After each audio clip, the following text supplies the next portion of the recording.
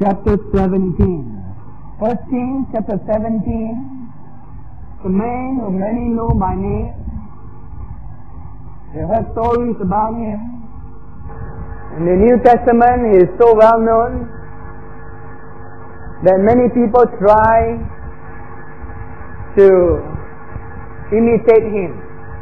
Even in the church age, many men of God have tried to say that they are this person because he was so mightily used, mightily used of God. And his name is Elijah. Let's consider his life and how God used him this morning. First Kings chapter 17. Verse 1.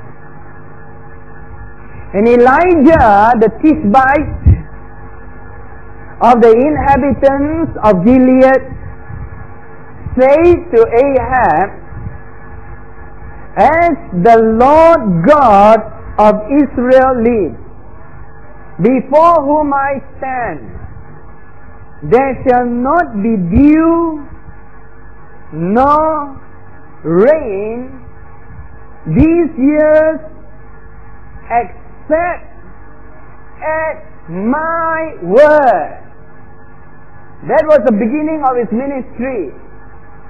Suddenly, out of the blue, seemingly from nowhere, comes a man from Tishbite. Say the Tishbite.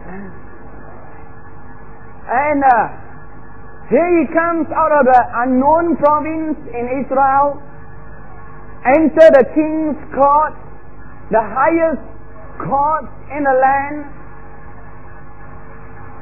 confronts the king and say, Oh king, there will be no rain until I say so. Could you imagine there was a king sitting on his throne? There was Elijah coming forth. The king has authority in the land. He could give a command and people will be sentenced to death. Give a command and people will be put in prison. I mean, the king has authority on this earth as far as his country was concerned. That is the country of the of Israel, the northern kingdom. And here comes that man Elijah who faces the king and say, King, you control the you control the country. I control the weather. That's a good bargain. And this land is full of idolatry. This land is full of sin. So, king, I'll tell the weather, don't give rain. And he will not give rain until I say so. What an introduction. That's the first time you hear of him in the Bible. Where did he come from? What did he do to give him this authority? I'm sure many of you would wish that you got authority over the weather like he had. Some of you pray for the rain to stop and you go wet. And in some countries like India and Africa, they would have wished that there was an Elijah who could pray down the rain. And I believe in the last days we are going to have restored on the church all the mantles. The mantle is the anointing. In other words, all the anointings in the Old Testament and the New Testament are all going to be present in the last revival. You're going to have some people walking about like Elijah. You're going to have some people walking about like Elijah. Now, hear me. They are not Elijah, they are not Elijah, but they carry the mantle, the anointing on their lives. There's some of them going to walk about like Jeremiah. But oh Lord, don't make me an Isaiah. If you read Isaiah and the things he did, say, Lord, not me. Give it to Brother Albert or somebody else. Uh, the anointing on Isaiah, but it was powerful, brother. It was powerful. And of all the books in the Old Testament that were quoted in the New Testament, the book of Isaiah is quoted the most frequently. So he had the word of God on his mouth, but there were strange things he did. Strange things, like getting, uh, shall I Malaysianize the scripture? He got his sarong, bury in the ground, and then wear the loin, loin cloth. The, let me see, you taught me the word, goti. Oh, waisty. I got, I mixed up the goat with the waist. Right, so he got his waisty and he buried in the ground until it stinks. Smells like Lam- cheese. Like a durian kept for 10, 10, 10 years. Open. And then he wears it and say the judgment of God is on you. And of course they will have a very hard time differentiating the anointing on him and the smell on him. That's a mantle on Isaiah and there are many different mantles, but every one of those mantles in the Old Testament are going to be restored today.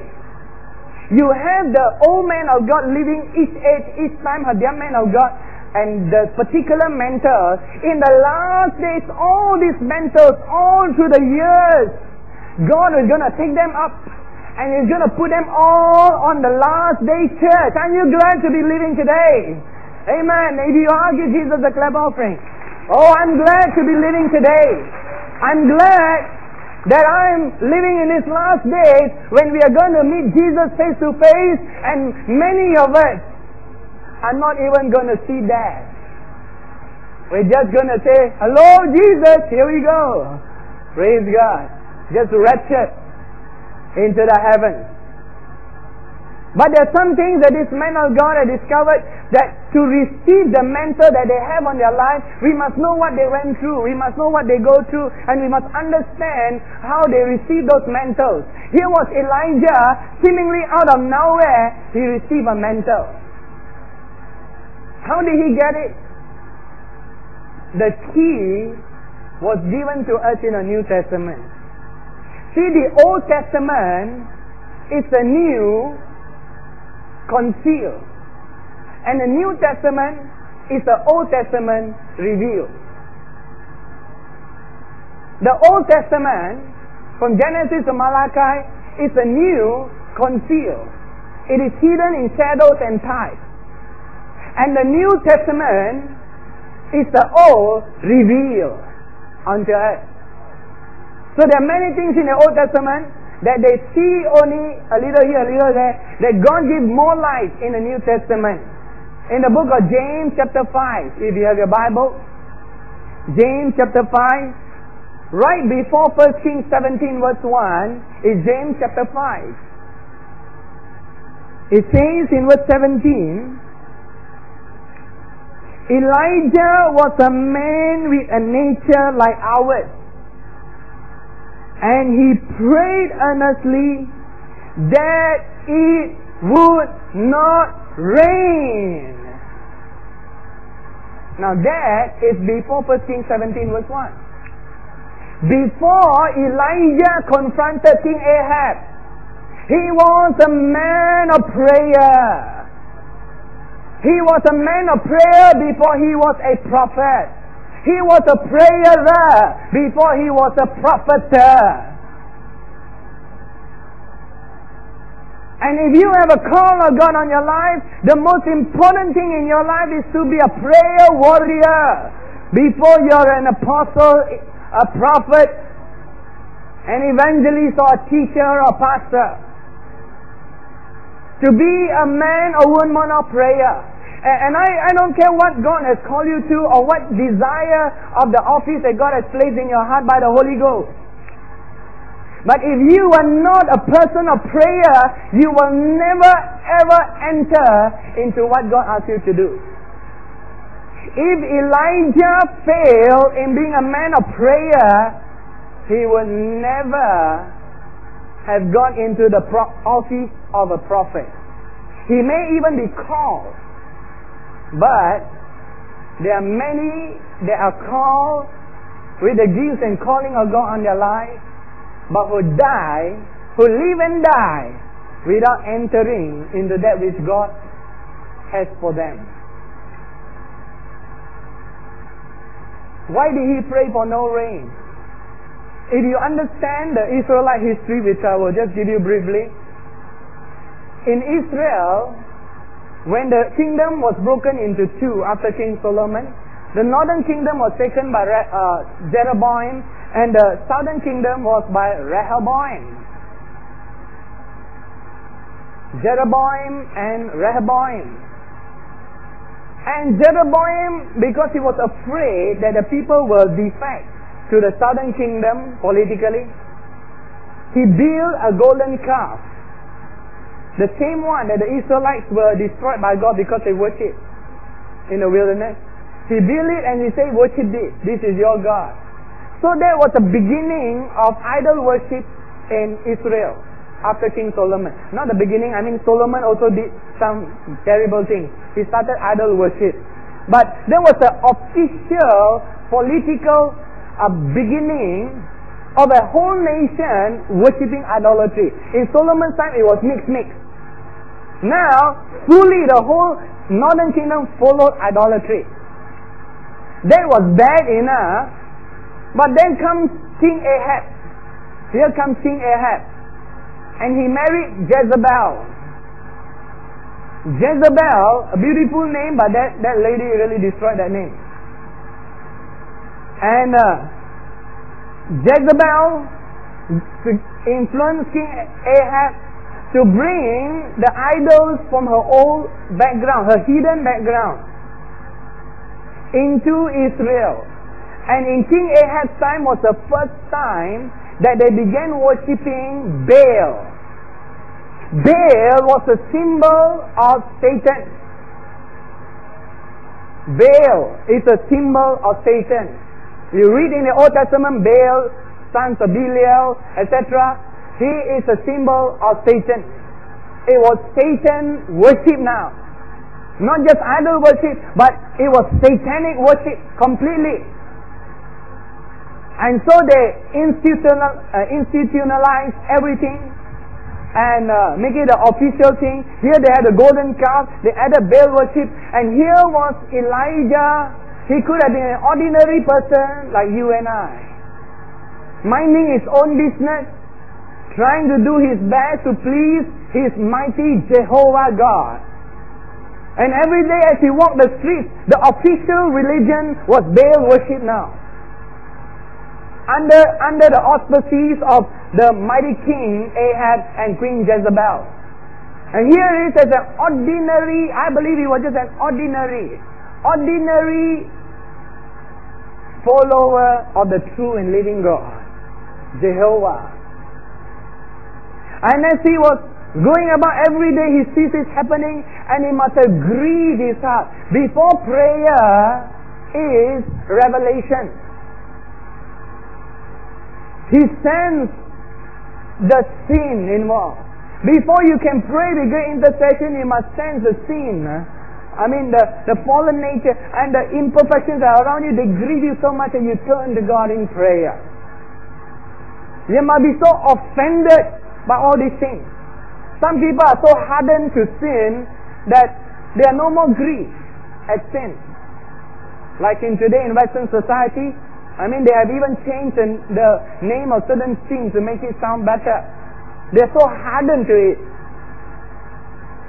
Uh, he was grieved that all these things and other worship were taking place, and he started a prayer marathon. He was probably alone in that. He didn't know there were many others who were also grieved, probably.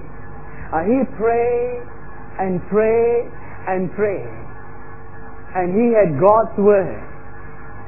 What did Elijah base on to pray for the stopping of the rain? He had God's word. God's word backed him up. God's word him up. Turn with me to the book of Deuteronomy. In the law of God that was given to the Israelites, verse 23. Verse 23. Talking about the curse that will come on the Israelites if they disobey God. And your heavens which are over your head shall be bronze, and the earth which is under you shall be iron. The Lord will change the rain of your land to powder and dust. From the heaven it shall come down on you until you are destroyed. Now that was God's written word. God's written word about the nation of Israel. God said, You obey me, I will bless you. You disobey me, this is what will happen. So when Elijah read the scriptures, the word of God, he knew that God would want to withhold the rain as a judgment for the nation of Israel. See, the mantle that was on Elijah was he was a prophet to the nation. And here he was praying for the nation. And while he was praying for the nation, he had the word of God. The Bible tells us in James 5, he prayed for no rain. What was the reason? I believe because he wanted the opportunity to bring the word to the people. God said there will be no rain, but this is what happened. Not only was there no rain, God gave one man the authority to stop the rain. In James chapter 5. See, he prayed. He must have asked God for the authority. He prayed for no rain. Why? He wanted to tell the people to turn back to God. His motives were right. Now, let me caution you here. As you move into prophecy and open yourself to the things of God, don't think that you're prophet Elijah all the time.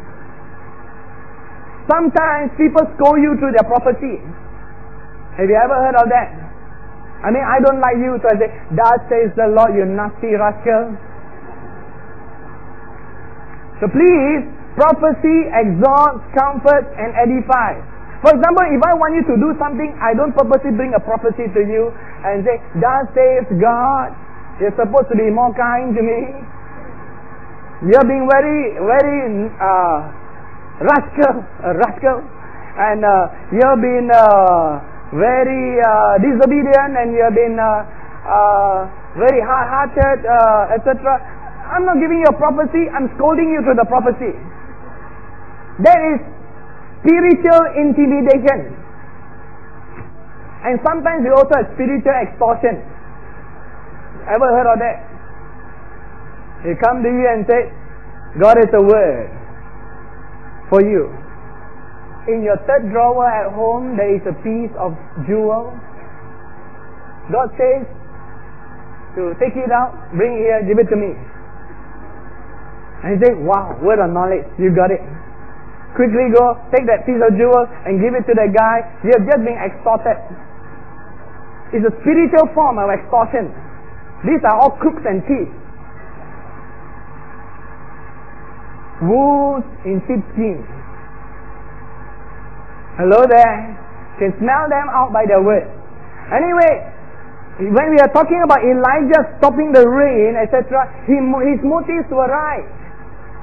His motives were right he was not trying to promote himself. He was not trying to uh, control people's lives. But his desire was to turn the nation to God. Prophecy cannot be used to control another person's life. It is wrong. So notice the difference. That there is a difference between that says the Lord and between I perceive. Paul says when they were going out into uh, the sea. He was a prisoner in the ship and he told the captain of the ship in Acts chapter 28, I perceive that this journey will be dangerous. He did not say, that says the Lord. There's a difference between perceiving discernment and that says the Lord. I believe we got to honor God. Amen. I believe we got to treasure the word of God. I believe we got to make people respect a prophecy. But we can we can make people dishonor prophecy by misusing the word thus says the Lord. Hello there. Thank you for those silent amen. We have to know that here was Elijah, his purpose was not to control, his purpose was not to exalt himself, He was just grieved at the sin of idolatry in his nation. And so he prayed in James chapter 5. He cried out to God. He said, God, stop the rain. I don't know how long he prayed, but he must have prayed for some time. He was a man of prayer. Finally, finally, God must have spoken to him and said, All right, Elijah, I have heard you. According to your word, it shall be. So then you have him coming in 1 Kings 17, coming to the king and saying, O king, there will be no rain unless I say so. Good day. And he walked off. Strange looking man in that uh, king. He didn't even have nice clothing like you and I have. The funny looking odd man and uh, then he is declared and I'm sure they all must say, Ha! Prophet. I'm sure none of them will believe him. The next day there was no rain, and the following day there was no rain. On the third day there was no rain. The following week there was no rain, one month there was no rain, they start worrying. They were so worried after one year there was no rain. The king was so desperate because that man who disappeared said, only in my word there, must, there will be rain. Finally they believe him. They send out spies all over the land of Israel and all along the, the surrounding countries to look for him to bring back the rain. Let me show you the reference in 1 Kings chapter 18. 1 Kings chapter 18. This is what Obadiah, the general, said up to Elijah when Elijah appeared to him. verse 10. Chapter 18, verse 10. As the Lord your God lives, there is no nation or kingdom where my master, that is King Ahab, has not sent someone to hunt for you. They were looking for him all over the place. He said, as long as there's a country, as long as there's a neighboring nation, as long as we know there's such a country and nation, King Ahab has sent his people to look for you. Imagine how desperate they were. After all, this strange looking man called Elijah said, There will be no rain unless I say so. That's authority, brother. That's authority and power. So he has sent to every nation, and they could not find him. Here is Obadiah, and, and when they say, he is not here, he took an oath from the kingdom or nation that they could not find, find him. That means when they went to a nation nearby, for example, they could go to Syria and, and confront the king of Syria and say, Oh, king of Syria, is Elijah here?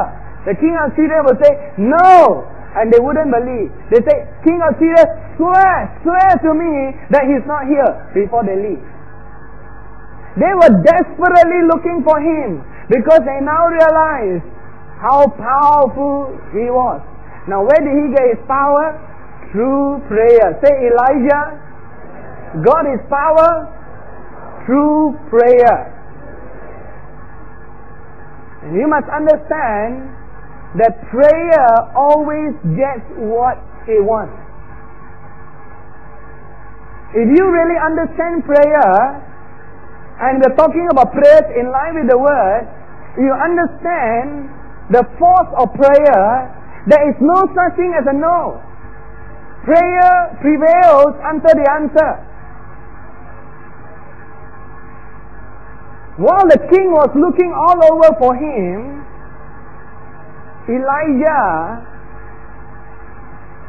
was having a very nice time at the brook, a little stream right in Israel. If God doesn't want you to be found, you cannot be found. If God wants to hide you, you can be hidden. So, here in 1 Kings 17, Elijah was told by God to go to the brook Kidron. And in verse 5, uh, verse 3 to 5, get away from here, turn eastward, hide by the brook Cherith, which flows into the Jordan, and it will be that you shall drink from the brook and I have commanded the ravens to feed you there. So he went and did according to the word of the Lord, for he went and stayed by the brook of Cherith, which flows into the Jordan. While the king was looking all over for him, he's having a good time, enjoying the scenery, having all his meals served by the waiters, the black waiters, ravens, and uh, he would just bring all his meals to him and he enjoy and the water was there for him. Everything provided there for him. Nice hotel terrace. One day because of the drought and the lack of rain the whole brook dried up. So god said go to a widow of zarephath. Go to her for i had told her to feed you Notice 1 Kings 17. God says in verse 9, I have commanded a widow there to provide for you. So when Elijah went to see the widow, the widow was ready to perform the last meal, the last funeral rite, and die. Imagine how long it must have been. It must have been quite some time, maybe a year or more. When the brook dried up, because everyone in the nation was now feeling the effects of the lack of rain. And when he saw the widow, the widow saw him, he spoke first and said, Give me some water. And the widow, and then in verse 11, Please bring me a morsel of bread in your hand. And the widow said, we are ready to eat the last meal and die. We are just right at the ending. Imagine God's timing is so perfect. The brook dried up. She was having her last meal. Why didn't he come to her uh, when she had uh, many meals left? But he came right at the time when he had the last meal. Isn't it wonderful?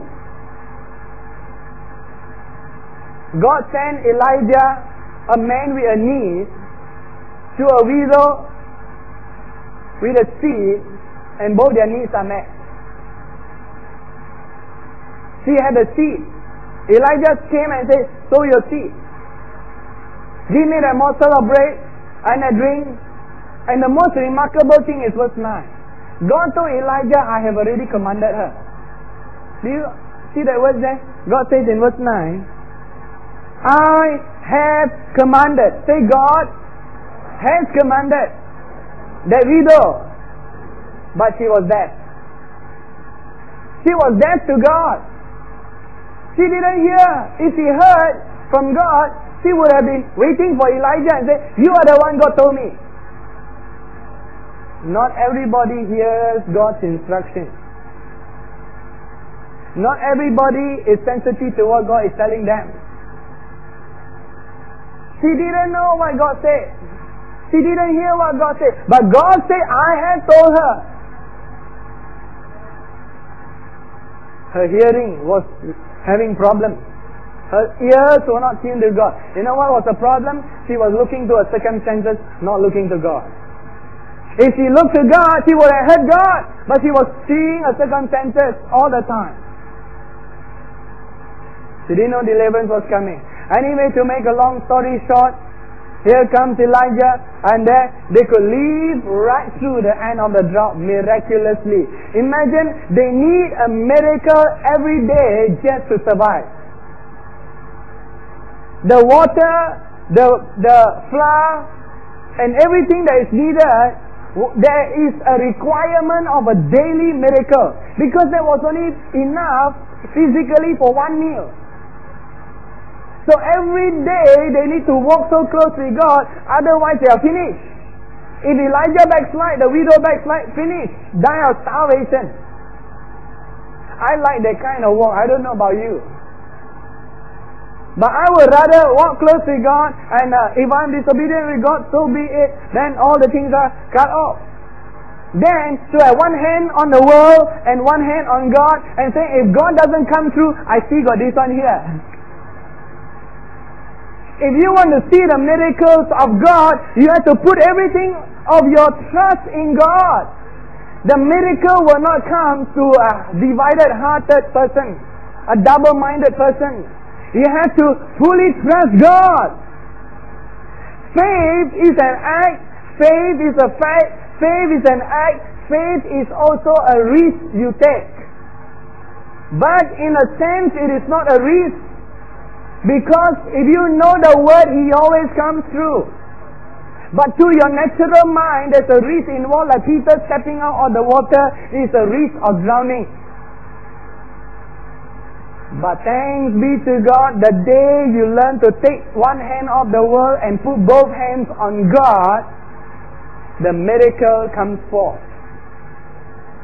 The miracle comes forth. Every day they needed a miracle.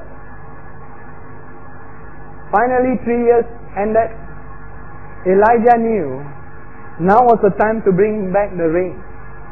Remember, he had prayed for no rain it required him to pray for rain to settle everything.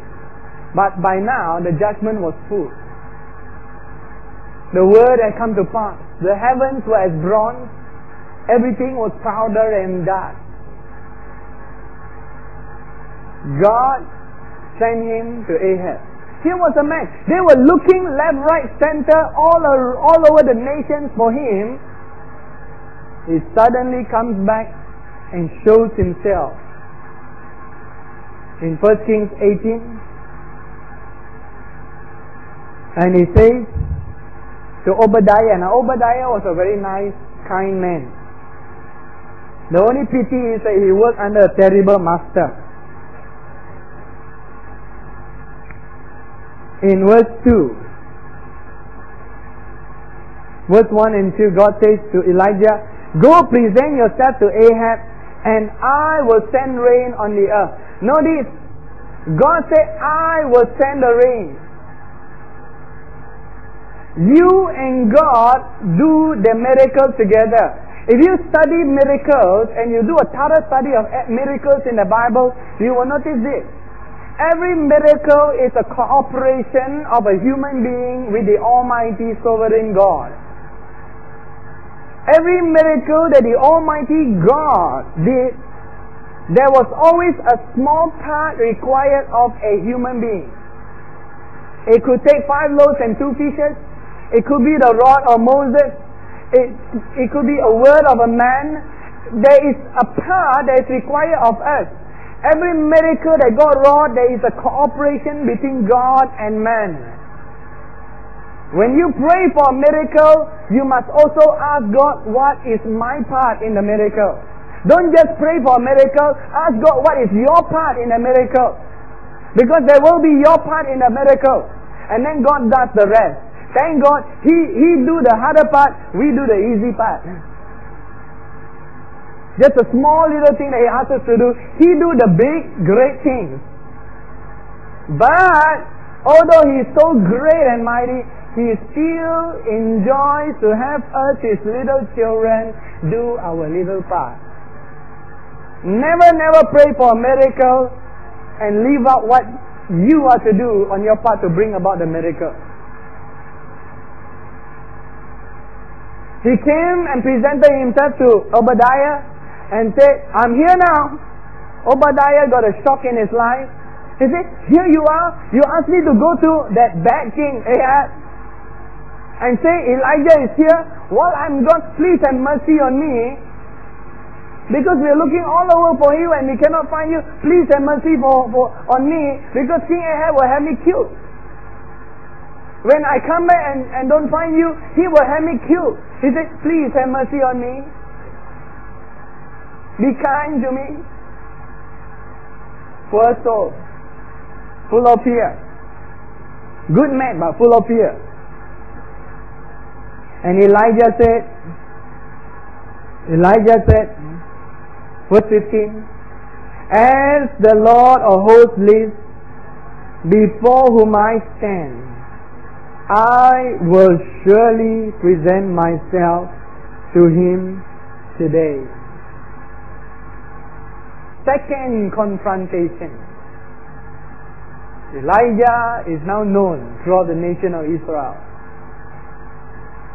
Here he is declaring himself before King Ahab. And I like the conversation. When Ahab saw him, three years had passed since he has last seen him.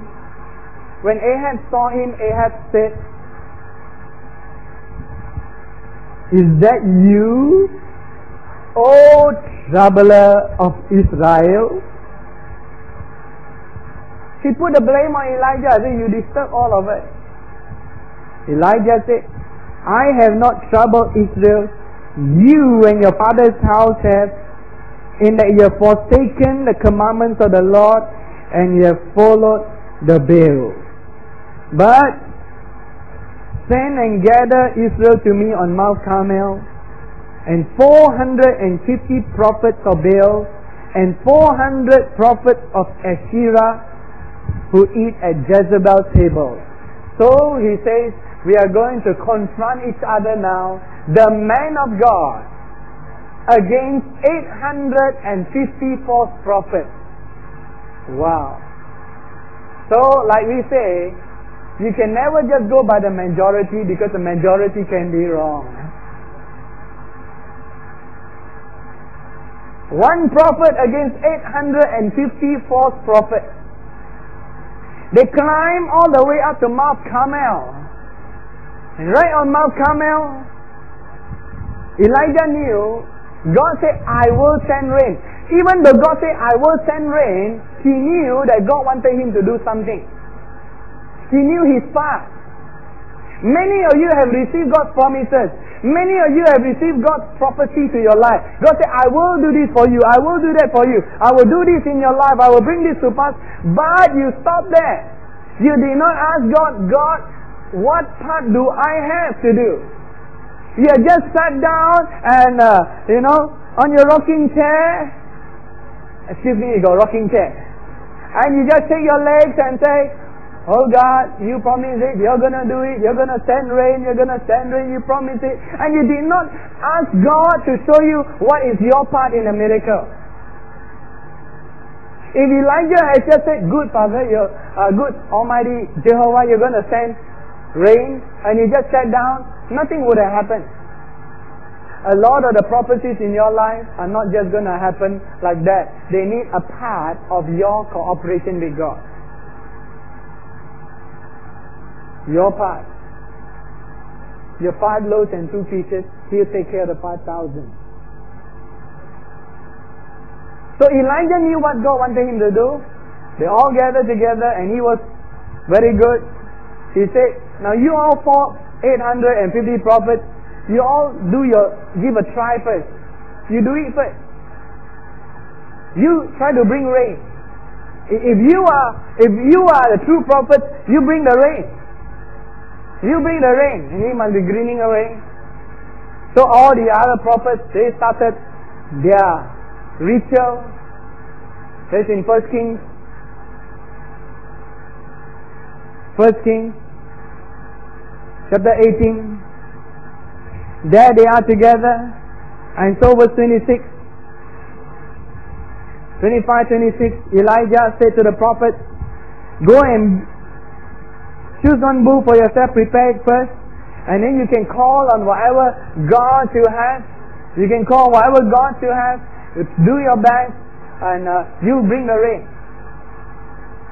Those poor, poor prophets, they screamed, they shouted, they danced, and they prayed, and they cried, but all to the wrong God. Nothing happened. By that time, in verse 27, it was 12 o'clock, noon. Elijah said, Cry louder lah! Your God is maybe doing some meditation. Or he's too busy. Or he's on a long journey. Didn't come back yet. Or maybe your God is sleeping, snoring. Cry louder so he can wake up. I like him. He's not afraid of false God. And I would encourage each one of you, don't be afraid of idols. Don't be afraid of destroying, destroying charms and idols. They cannot do anything to harm you. Some people have the world concept or the unrenewed mind. For example, some people say, oh, this is a Chinese charm more powerful than Malaysian charm. What difference does it make? So, if you believe it, that is why it affects you. You must train yourself, like Paul said, you must receive knowledge that an idol is nothing. Nothing to be afraid. No matter how terrifying it looks, look eyeball to eyeball. Do not be afraid. You're destroying all the things, getting rid of all the charms that put it into bondage. Just go ahead. There, nothing will happen. Nothing will happen. You say, but brother, sometimes they follow me back. According to your faith be unto you. Somebody told you that you believe it, so is it unto you. They told me that the first time when I entered the deliverance ministry. And uh, so those thoughts sometimes come to you, those thoughts of fear. But I said, Jesus didn't experience that, so why should I? The disciples didn't experience that, so why should I? Say, I am a child of God. Greater is He that is in me than He that is in the world. I mean, just the other time, uh, just uh, last week, wasn't it? That uh, Bob Weiss was saying about some uh, some of you having a vision and the glory of God is around here and there are some sort of evil things all around surrounding the curses that people try to throw on this place and curses try to put on those people who come and go. Why should you be afraid? You know what will happen to them? They'll be but like Balaam. Balaam tried to curse Israel. God said you cannot. Every time you try to curse, a blessing come out. Plus, the blessings of Abraham are on you. Blessed are those who bless you. Cursed are those who curse you. There is a sort of reflector. So when the curse comes, the reflector reflect it back. Cursed are those who curse you. You don't even have to do anything.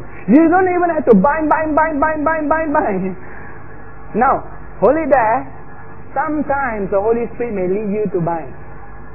But don't use it as a formula. Just as sometimes the Holy Spirit may, may tell you to spit on someone and get them healed. But don't make it for formula and start a spitting ministry. Sometimes the Holy Spirit will tell you to bind before you cast. You do it. But the problem comes when people take one work of the Spirit and make it the only way the Holy Spirit can work. Generally, all you have to do is just keep worshiping God, praising God, worshiping God, praising God. Satan could set a trap on your left, on your right. You're just praising God. The Holy Spirit tells you there's a trap in front of you. You may not even know. And you're just praising God and you're walking straight into a, into a trap and the Holy Spirit says, turn left. You turn left. Hallelujah. Praise God. The devil is just scheming. Because he cannot trap you. All you're doing is just praising God, worshiping God. So nothing will affect you. And here is Elijah. He's mocking all those false prophets. And remember, all of Israel were afraid. The whole Israelite nation were afraid of those idols. And there was Elijah saying, call louder. Maybe he cannot hear. Maybe he's sleeping. Maybe he's doing some meditation. He's taking his afternoon nap. Baal taking his afternoon nap. And in verse 29, in verse 28, they cried aloud and then they used knives and cut themselves. They distill blood to try to bring rain. No way. Finally, it came to Elijah's turn. It was evening already. They had the whole day. Elijah only had a short time left. Elijah told them to. He was making sure. At that time, there was a drought. He wanted the people to know that for God to do it, it has to be a miracle. He, do, he doesn't make it easier for God. He make it harder. There was the, the sacrifice, there was the wood. He said put water on it so there is no accident. Accident. No accidental fire. No accidental rubbing of the wood and an accident accidental spark comes and take fire.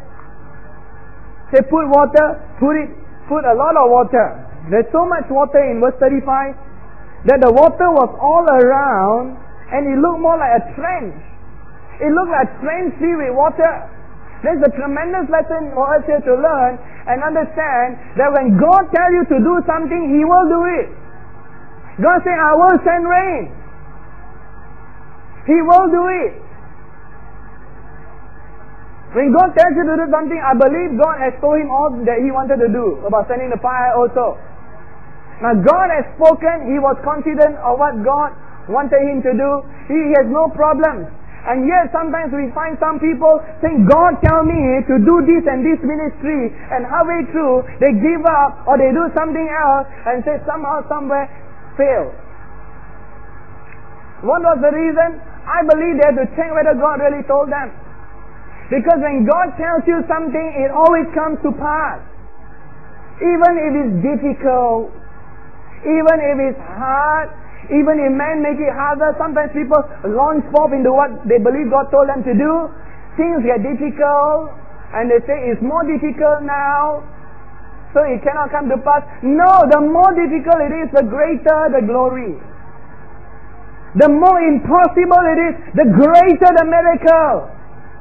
God had to wait until Abraham was stirred up to give him the promised son so that he needs two miracles, not just one.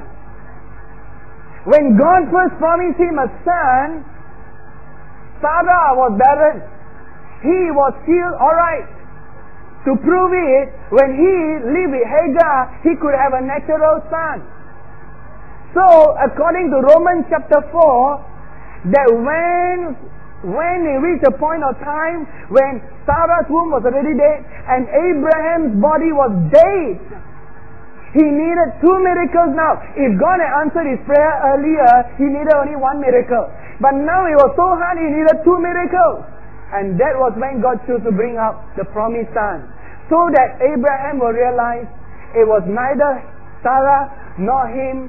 It was God's power working on both of them and it was solely God who did it, not even his own strength. It was supernatural strength. And the more difficult the situation, the greater the glory. Some of you, when you pray for people, you should have this attitude. When you see a, a difficult case of healing, you should say, Hallelujah, more power.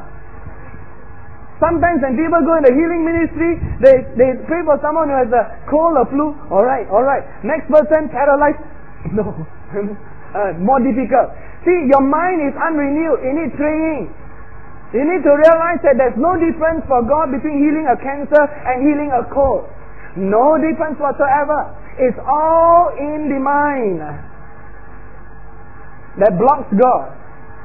So the next time you see a, a, a fully gone case person, that's when the greatest glory will demonstrate for. And sometimes when you start praying, it seems to get worse. No problem, keep on. If Lazarus sent the news that uh, that uh, his sister sent news that he was sick, if Jesus had arrived there, there would have been a healing. But Jesus delayed, and they don't need a healing; they need a resurrection. Hallelujah! It's no problem to God if your situation gets worse. In fact, when it gets worse, you should praise God even more. You say, more glory, more power coming. Some of you, now we're talking about healing, some of you are also praying for financial areas in your life that seem to get worse. Let me tell you that, that the harder it is, it seems, the harder it is the greater and the bigger the blessing. Hallelujah. Let's give Jesus a clap offering for that. No problem for him. No problem for him. We must renew our minds to the attitude that all things are no problem for God. And so here is Elijah Mount Carmel having all the things filled with water. And he, he prayed a simple prayer. He didn't pray a long-winded prayer. By the time he finished, it was 12 midnight. He prayed a short, simple prayer. Remember the prayers that are most powerful in your life are those you pray from your heart, that you mean it. Don't need long prayers. And remember, don't have the attitude, the, the wrong teaching, that the harder the miracle, the longer the prayer. I'm getting rid of all these final points. See, sometimes you pray for a flu or cold, in Jesus' name, hallelujah. Then comes someone to be raised, paralyzed. You pray, pray, rub the leg a bit. Give a little spiritual massage. Might as well open a spiritual massage shop. So remember, it is not more uh, prayer, it is all the same unto God. We must renew our minds to understand that it is the same. A miracle is a miracle. It does not even overload God's power. No problem whatsoever. He make it very difficult for God. In fact, he put water all over the place. Then he prayed a very simple prayer. He says, Hear me, O Lord, in verse 37. Hear me, that the people may know that you are the Lord and that you have turned their hearts back, back to you again. The moment he said that, one sentence only, the fire of God came down. The whole thing was burned. The waters were all wiped out evaporated and the sacrifice was burning, every one of them bowed down and said, The Lord, He is God. The Lord, He is God. The Lord, He is God. The Lord, He is God. And while the people were at it, Elijah said, Let's kill all the other false prophets. Hallelujah. By that time, he got all the people on his side. And immediately all the 850 prophets were killed then only God could send rain. What was the cause of the drought? The curse? The false prophet. The false worship. Elijah knew that was a root. It would have done no good just to pray for rain when the curse, the root of the curse was not removed. So he got all the roots removed and he turned to King Ahab in verse 41 Go up, eat and drink, for there is the sound of abundance of rain. Remember, he was seeing in the spirit, he was hearing in the spirit, nobody else heard it. If you are a man of faith and a man or woman of God, you will operate in the invisible realm. While people operate in the visible realm. And let me tell you, the invisible realm is more enjoyable and higher and it works. The visible realm will sometimes give up on you. If you go by circumstances, you will always be discouraged, you will always be down. Paul says in 2 Corinthians 4, we look not to the visible, we look to the invisible. Every man or woman of God from Noah, Abraham, right up to Jesus Christ of Nazareth, right to all the apostles, have been men who look into the invisible. They hear the abundance of rain. They see the miracles in the spirit realm. They see the victory of God. When the visible realm, in the visible realm, there was no evidence whatsoever. And let me say this. If you are a born again Christian and you're living in the visible realm, you're backslided. It's a hard word. we are born of the Spirit of God. God is invisible. The spirit realm is invisible. You are called to a great task. We are to overcome the world, not let the world overcome us. All things that are seen are subject to change. Say that again. Subject to shout it out. So Elijah walked in that realm of the invisible. He says, I hear the abundance of rain. Everybody will look at him like they will look at Noah. Noah says there's going to be a flood. Nobody has seen a flood before. Nobody has heard of rain. That time rain has not even existed. We speak of the things of God. We speak of the things of the Spirit. They are foolishness to the carnal man. You're born again Christian. I urge you develop your spirit in the invisible realm. In the invisible realm. Hear the abundance of rain. And here goes Ahab. Here he goes on his chariot. I mean, he's heading hard. There he goes on his chariot. Whew, hallelujah. Hey, excuse me, he may not say hallelujah. It's not quite that nice a king. He said, Get up, get up, get up. And while he was going all along the way, Suddenly he heard a sound next to him. It sounds like a BMW. He goes, say, what, what was that? Is it a bird? Is it a plane? No, it's Elijah. Went past him. That was a that was an anointing of God for him. Some of you who are in sports probably need that kind of anointing. There he is he ran past the king. Powerful in verse 46. The hand of the Lord came upon Elijah. He girded up his sarong and he ran ahead of King Ahab to the entrance of Jezreel. Faster than road runner, faster than Billy the Weak. He was fast. The anointing of God was on him the anointing of God to do supernatural things. Hallelujah. Do you all know that the anointing on your life as a believer will make you do supernatural things that are impossible naturally, according to your needs. King David was called to be a king. As a king, he will have to fight many wars. And do you know what he said? What the anointing of God is to do in his life? Turn with me to Samuel. That's right.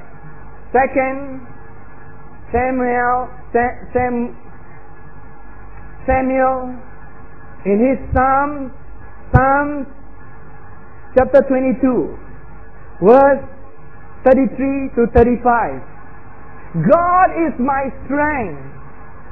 Second Samuel chapter 22, verse 33 to 35. God is my strength and power he makes my way perfect. He makes my feet like the feet of deer and sets me on high places. He teaches my hands to make war so that my arms can bend a bow of bronze. Now that will be Samson's anointing on him. Whatever God has called you to do, God asks you to do not by your ability, but by His anointing. I believe David as a young boy, all he had was the was was that natural uh, youth.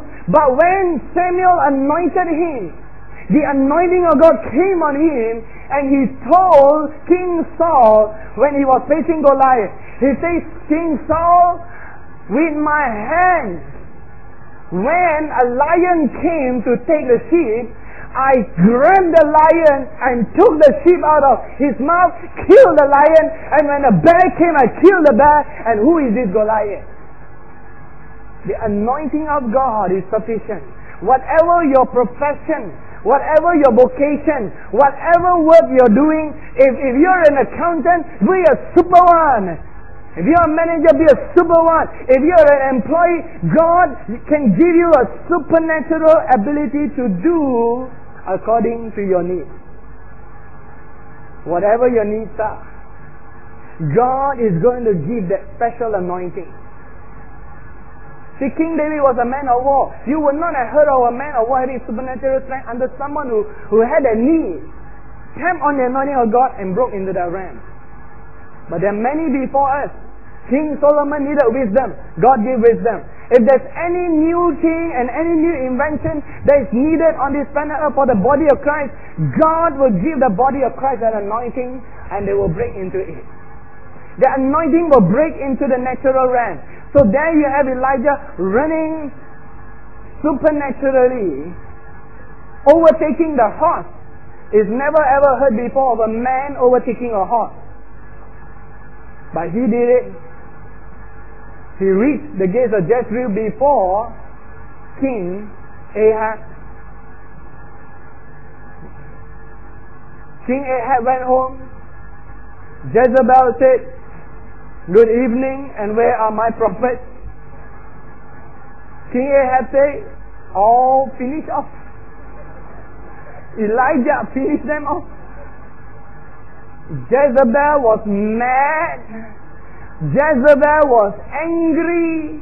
Jezebel was going to kill Elijah. Remember, Elijah has gone into the city. And Elijah and Jezebel sent a man, a message to Elijah saying, If I get my hands on you, I'm going to finish you off too. Finito. Hallelujah. And you think what the mighty man of God did? Great man. He tasted the anointing of God. Tasted the fire of God. Stop the rain, start the rain. Wonderful ministry. One woman chased him.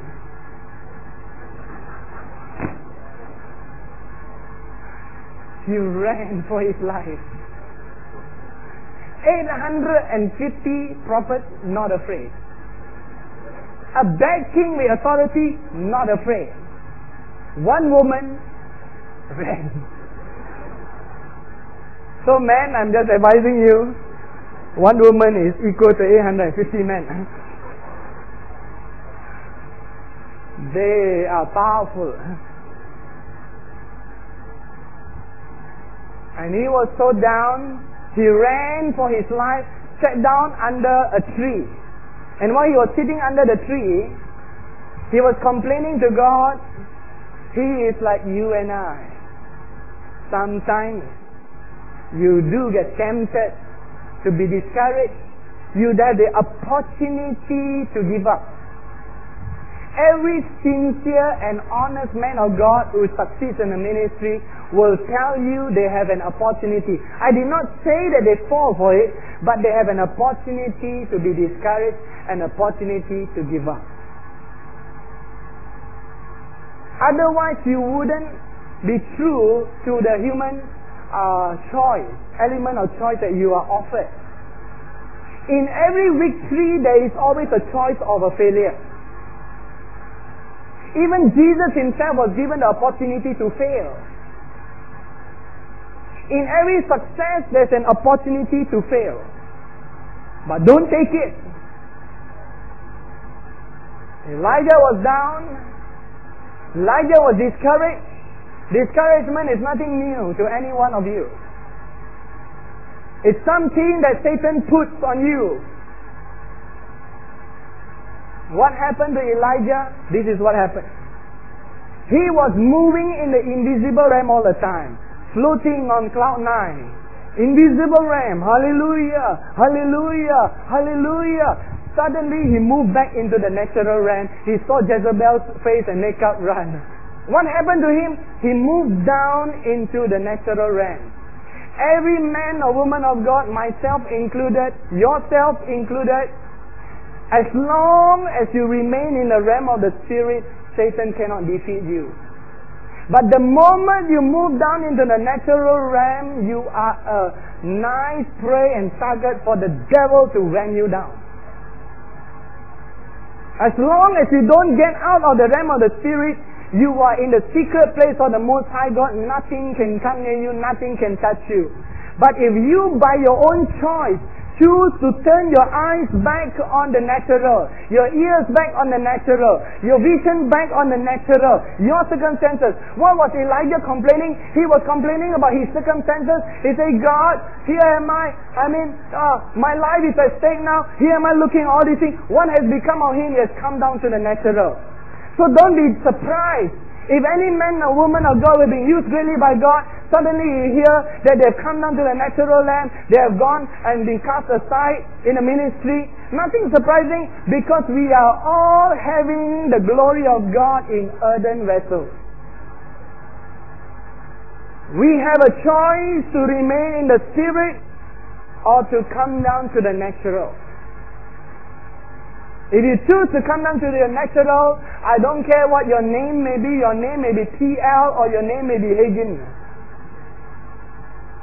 You would be under the same temptation as every other ordinary man. You would be at a place where every other man or woman goes through. There's nothing special about any man or woman of God. The only thing special is what they have contained in them. God's treasure in them. But they are as natural as you and I. So God says, don't come down to the natural. Elijah came down to the natural. And he said, God, I don't want that lady to kill me. Please kill me. Hero. Kill me, Lord. Let me die here under this tree. He is not praying a sincere prayer. There is one time when God doesn't answer his prayer. You know, sometimes you pray foolish prayers and you pound at the gates of heaven, you shake the gates and rattle the gates of heaven. You go angry with God why God doesn't answer. One year later you say, Thank you Lord, no, you didn't answer then. ha ha ha. You all look so innocent as if you've never done that before. I can tell you I have, and I have. Early in my ministry, I mean, I pray some funny prayers. I ask God for some things and uh, some areas, and uh, I'm glad He did not, He did not uh, answer me in that area. See, sometimes men of God tell you the successes, they hide all their failures behind. But what you need sometimes is to hear sometimes where they fail so that you can be encouraged that, oh, then they're the same like me. So that you don't put them on the pedestal. When I first went to, into the ministry, I thought I was, I mean, holy, holy. Super, super. I want to be a super saint. Say, God, I think I would like a single life. The holy man of God. You obviously know by now that the prayer was not heard. I knew not what I prayed. God knew back. And uh, one of the blessings of the family life is that my own character has been molded. I could never have the character I have today if not for the marriage life, family life that is trained and molded me. I'm not suggesting that all you singles marry quickly. Neither am I suggesting that God may not have called you to a single life. It is a precious life. That was one of the reasons, you know what, I was wanting to aim for the 144,000. It's revelation. I didn't understand. I know it not what I prayed. And know it not I also not the scripture. What it actually means. Anyway. So, there's blessing. Paul was a single man. Jesus was a single man. Let me encourage those of you who are single that you have a special reward too. God has a special gift for you. And let me encourage you, even if you have no family, the family of God is your family. Amen. Your family, call on each other. It's your, it's a better, bigger family than you ever had. Praise God. Those of you single parents, be encouraged. The family of God is sufficient for you. And remember, it's a gift of God on your life. So I want to minister to both sides and encourage you all to reach out into God, the depths and the realms of God.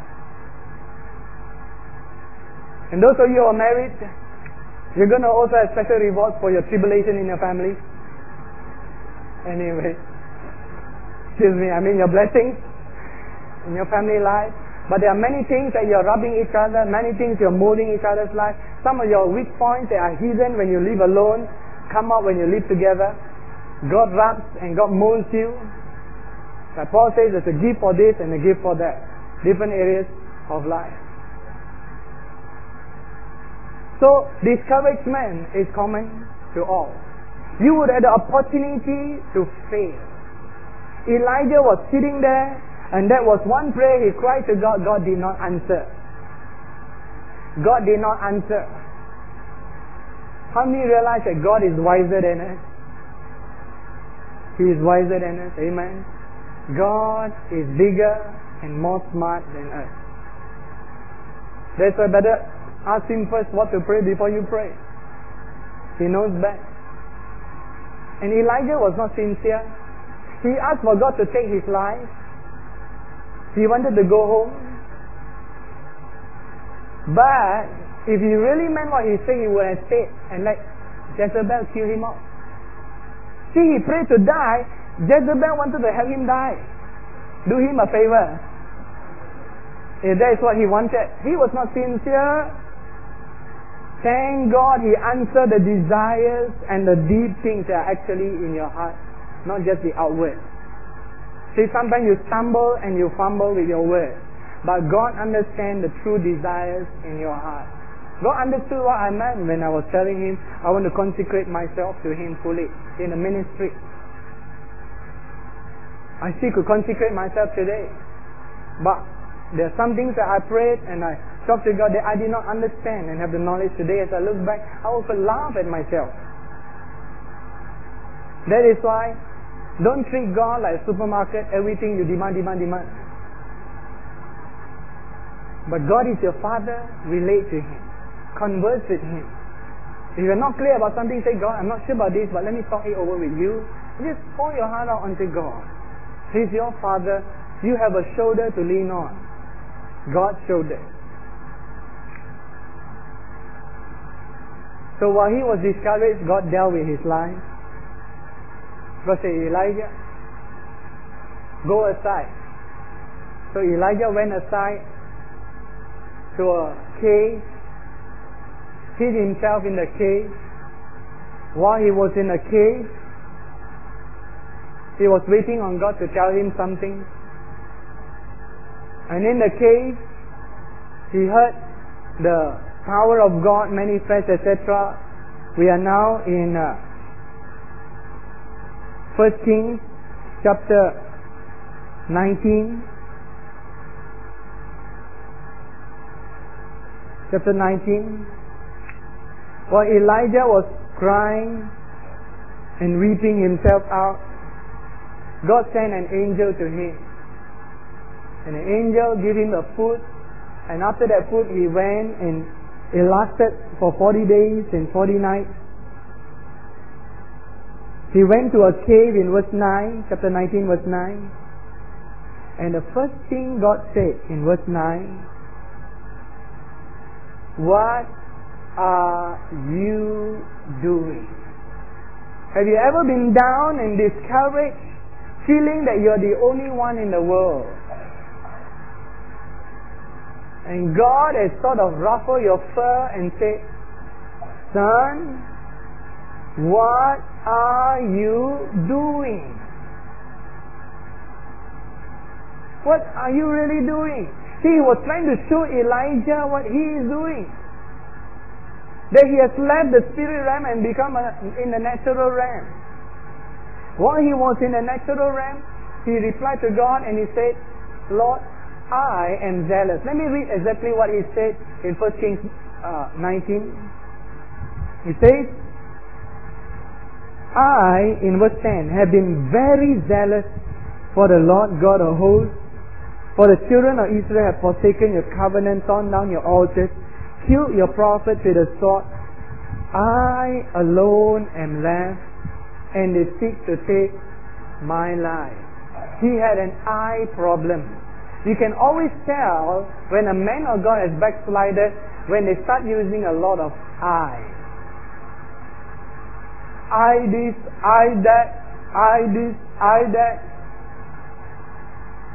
Ah, I'm the only one who could do this. I'm the only one who could do that. There's no one, that, nothing that, that like me. I'm special. I'm the only one. He had that self-centered syndrome.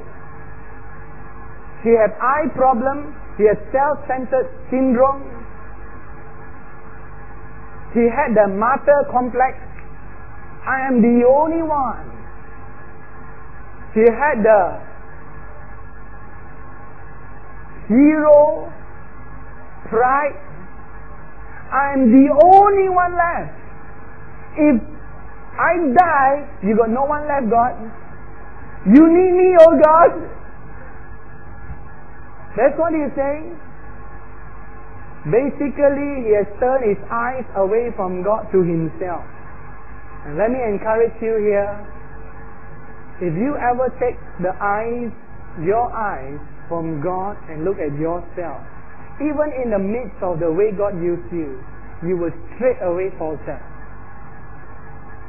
Because in yourself you realize you're rotten, there's nothing, nothing, nothing that you can do for God. And here is pride coming out in his life. He had to deal with his pride. I'm the only one left. Oh Lord. I'm the only one left. And they are seeking to destroy me. And I, like God, is so gentle. Remember, if you have shown great sacrifices to God, you have done wonderful things to God, our God is having a great compassion and gratitude. If you think a human being can be uh, very appreciative of what you do to them, think about our Father God. Why is He so kind to this disobedient, backslided son called Elijah? Because Elijah has actually did his best to love him too. Don't think that our God is a God who, the moment you fall, He snatches you off. Zaps you. He's not. He took Elijah gently and slowly dealt with him. Here, he says, Go and stand on the mountain. The Lord passed by in verse 11. A great strong wind tore into the mountain, broke the rocks in pieces before the Lord, but the Lord was not in the wind. After the wind was an earthquake, but the Lord was not in the earthquake. After the earthquake, a fire, but the Lord was not in the fire. What is it saying here?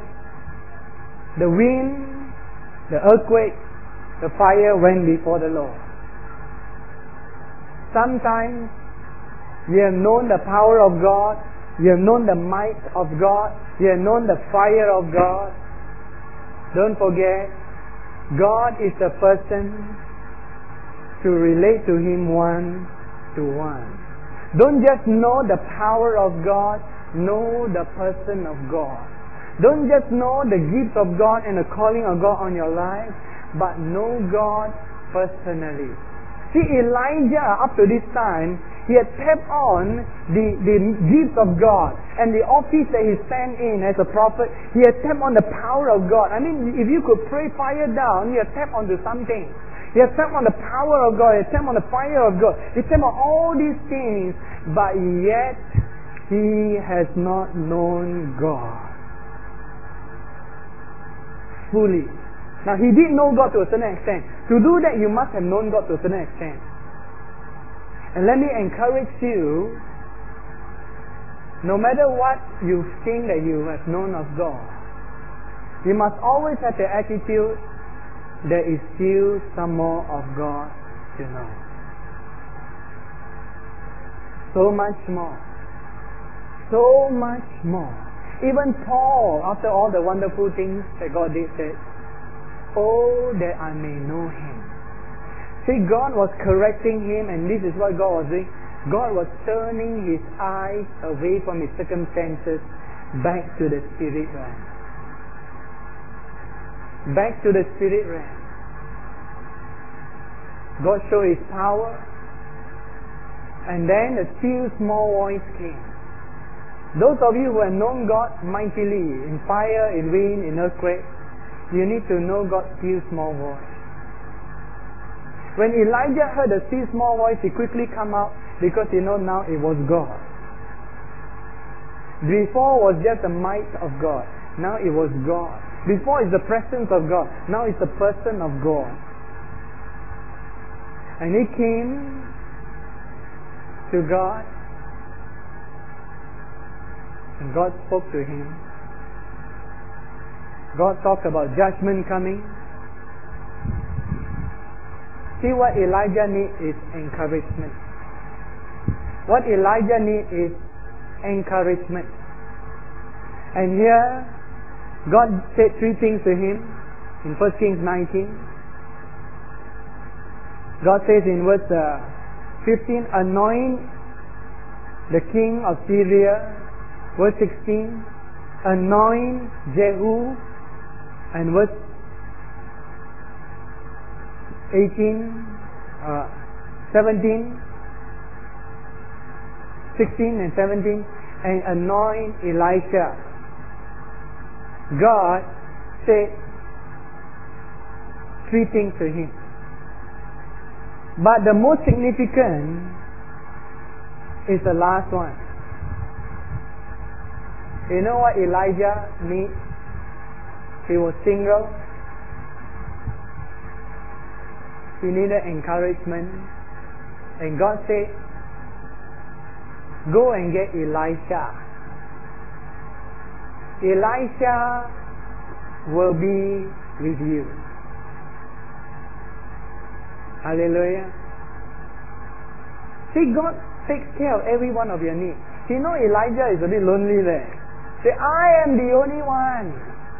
Now God is going to make sure he knows he's not the only one. He's going to tell him and say, appoint and anoint Elisha to stand in your place together as a prophet. Is he going to be alone anymore? Hello? No. God takes care of every need. I was reading a biography recently of a, a doctor who was killed and who saw Jesus and Jesus sent the doctor back. He was a lady doctor.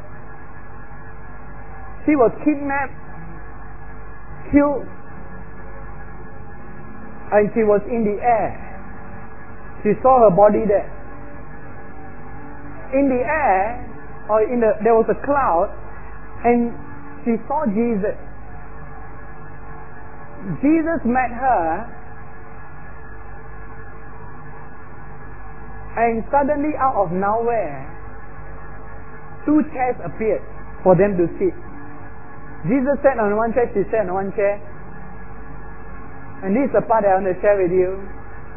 The chair that Jesus made appear, that for her to sit on, was the chair that she used to sit on when she was small with her own father. And her own father used to comfort her and talk with her and share with her while on that chair. So it brought back sweet memories. And this was what her thought that came when she saw the chair. She said, Jesus so loved us that these small, small details, He take care to remind you of all those beautiful times. Now it was a different chair, but it looks so similar. To bring back those beautiful memories. Isn't that like our Lord Jesus? So Elijah was lonely. Get Elisha. And to let him know he is not alone, he says, By the way, I have 7,000 more, like you, who have not bowed their knees to Baal. And Elijah was brought back into the spirit realm. This time, God changed his ministry a bit because he had a companion. A companion to serve him called Elisha. And Elisha was going to be together with him now for the rest of his ministry. He is kind. God is kind. He is loving. He will take care of the most detailed areas of your life. The small, small things that will make you happy, that will bring joy to you, God does it. I mean, He's so great, it looks like a waste of time to do that for us, but He will do it. He takes care of the minute details to bring us joy and happiness. And from that day onwards, Elijah learned to walk with God. And this is a phrase that you find constantly in his life. He always says, As the Lord lives and as I live, before whom I stand. He always learned to be in the presence of God. To remain in the presence of God. In fact, he lived so much in the presence of God from that day onwards. You never hear any more of that kind of going down, falling. So that one day God said, Elijah, we have been together so long. Why not you just come up and join me? Hallelujah. And by the way, I will send you a fiery chariot to escort you here. And so, by that time, he had a group of prophets with him. See, his ministry changed. I encourage you, sometimes from the crisis of your life comes a change of your ministry in a greater way. Before that, Elijah was a lone ranger God gave him Tonto.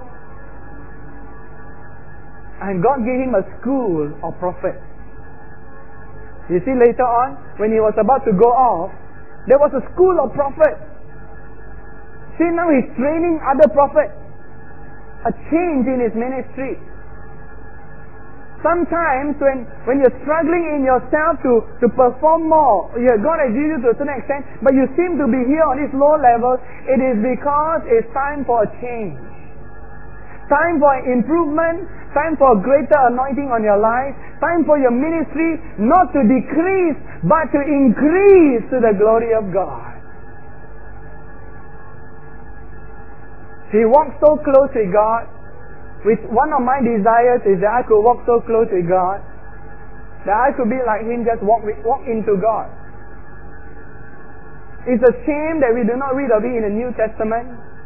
If in the Old Covenant they could have at least two men who walk so close with God that they just walk into God's glory, how much more in the New Testament? With the blood of Jesus and with all that Jesus has done, we could have more people to walk closer with God. Would you be that man or woman? Walk so close with God. Walk so close with God. That God loves your companionship so much. He doesn't need us, but He loves us. God loves your companionship so much. God says, come on up and join me here. God is going to make more and more people like that. And in the last days, the whole church in the whole world is going to walk so close with God. And this is how the rapture takes place. God is going to say, Hey fellas, you're walking so close, just come on home. See, it's a perfect church that God calls home. It's a church that walks so close with God. Every believer walking with God. Every believer loving God, worshipping God. So close. A perfect church that God says, just come on home. Come on home. And we are all raptured. Stand with me to your feet. All to Jesus I surrender. All to Him I freely give.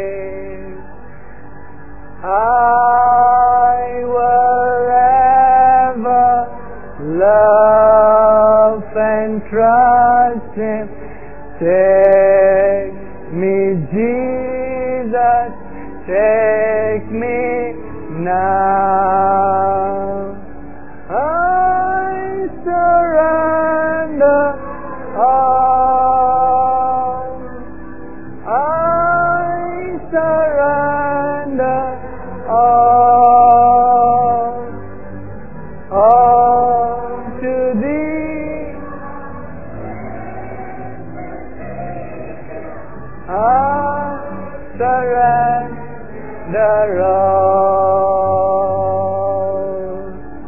sing it with all your hearts unto God.